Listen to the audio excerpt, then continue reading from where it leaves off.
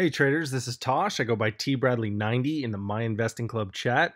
Today, one of our moderators who goes by Aloha Trader, real name Austin, has a very cool video and daily recap for us today. It's on CLWT trade recap and it's his low float squeeze pattern and how to predict that and how he also traded it. And while today is just a preview, if you want to watch the full length video or any of our exclusive content and all of our videos in our video library, then sign up and become an MIC member. All right, enjoy, guys.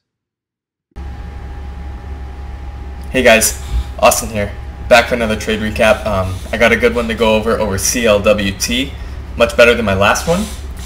my my IMMP stubborn kind of loser, but this one was a good one, and I want to go over it.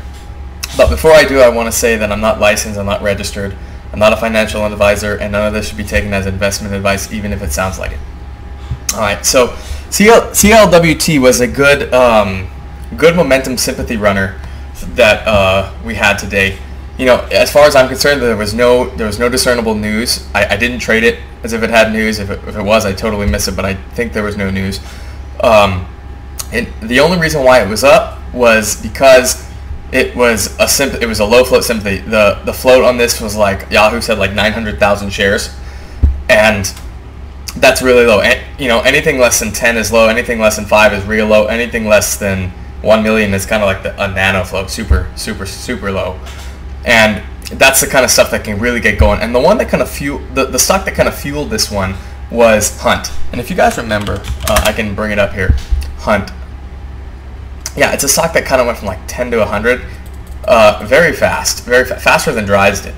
Uh, well, I guess DRYS did it all day too, but the way this kind of happened, it seemed faster than DRYS. But yeah, like this stock just kind of ignited the the potential. Oh yeah, don't forget, small caps can go up again.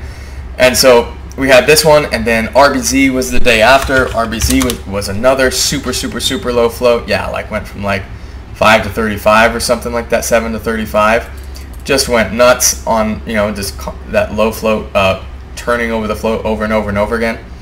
And so today when we woke up, when I woke up, CLWT was gapping up like oh, at least over 100%. And I tried to get locates on it, but uh, I, I think I was too late. They were all gone by the I woke up a little bit late today.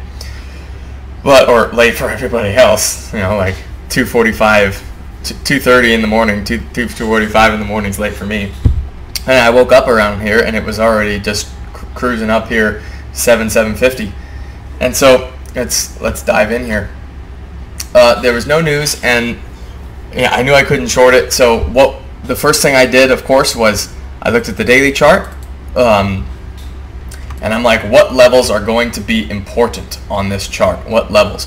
And I looked over here and I said, okay, 850 is clearly going to be a level, right? 850 topped here, topped here. The two day, um, two, uh, the two the two biggest days, or I guess this is multiple days, but the two biggest times the stock ran topped out at 850. So that's definitely an, an important level. And then this day, this day was also super important because it had volume. This this volume day where it topped out at 640, that's an important level.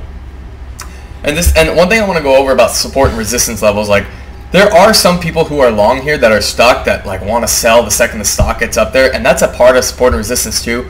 But in my opinion, support and resistance is huge on the psychological aspect. People look at the chart and people use the chart like like me, like a lot of other traders.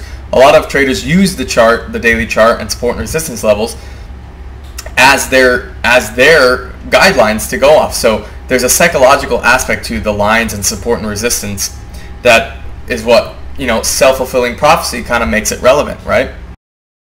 Hey traders, this is Tosh. I go by T Bradley 90 in the My Investing Club chat. Just wanted to reach out and say if you have any questions about MIC, joining MIC, maybe you're a member already, you have three ways to contact myself personally and through MIC. You can hit our social media, you can hit me through PMs in chat, or you can contact us through my email at tosh at myinvestingclub.com. That's T O S H at myinvestingclub.com.